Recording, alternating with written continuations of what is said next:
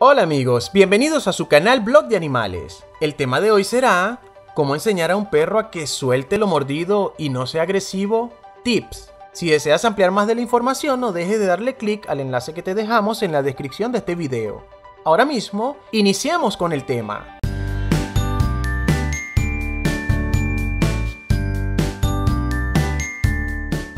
Un perro no solo es un animal de compañía, también suele ser de protección y cabe destacar que algunas razas tienen un temperamento agresivo. Esto se puede ver incluso cuando jugamos en casa. Así que, ¿qué debo enseñarle a una mascota para que suelte y no muerda? Ciertamente esto es un mal hábito y puede generar muchos problemas. Por ejemplo, desde el destrozo de cojines, un mueble, los juguetes de los niños o hasta lastimar sin querer a un miembro de la familia o a un tercero. Así que entonces muéstrale que puede morder y que no. Algunas veces los dueños de los perros les enseñan mal y le ofrecen calcetines, un zapato o algún otro objeto para jugar. Ten en cuenta que esto solo los confunde.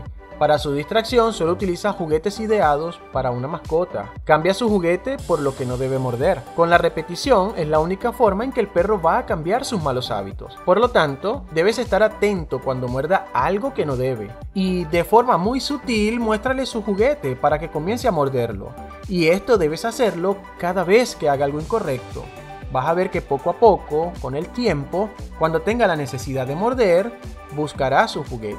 También puedes practicar el juego de agarre y suelta. Trata de hacerlo a diario con tu mascota, ya que es efectivo para que estos aprendan a soltar los objetos que tengan en la boca. Para que lo libere, le puedes mostrar una galleta, su juguete preferido, o lo acaricias con ternura. Repite este juego muchas veces y verás los beneficios. Eso sí, trata de no pegarle. Algo que debes de evitar es el pegarle, ya que lo puede confundir como parte del juego. Utiliza más bien refuerzos positivos para ayudarlo a cambiar y para nada uses la violencia. Aún así, si no entiendes por qué un perro se comporta de forma agresiva, te ayudaremos un poco. Recuerda que su instinto de defensa puede ser el miedo. Claro, también existen otras causas que generan esta conducta y a continuación te las indicaremos. Su herencia por raza. Un factor hereditario determinará en algunos casos si el perro es dócil o por el contrario tendrá un temperamento más agresivo. La instrucción que ha recibido. El entrenamiento puede volverlos más agresivos o dóciles según el estímulo que reciban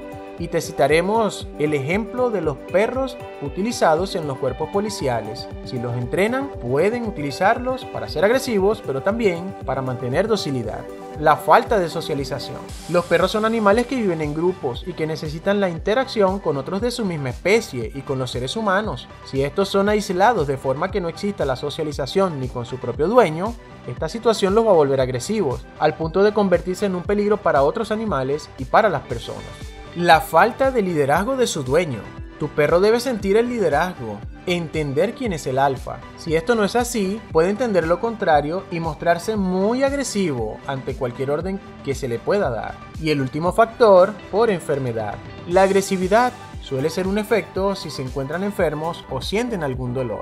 Lo cierto es que mientras les muestres cariño y dediques tiempo a enseñarlo, tu perro aprenderá lo que necesita. Bueno amigos, si te ha agradado esta información y ahora sabes cómo tratar a tu can, no dejes de apoyarnos con un like.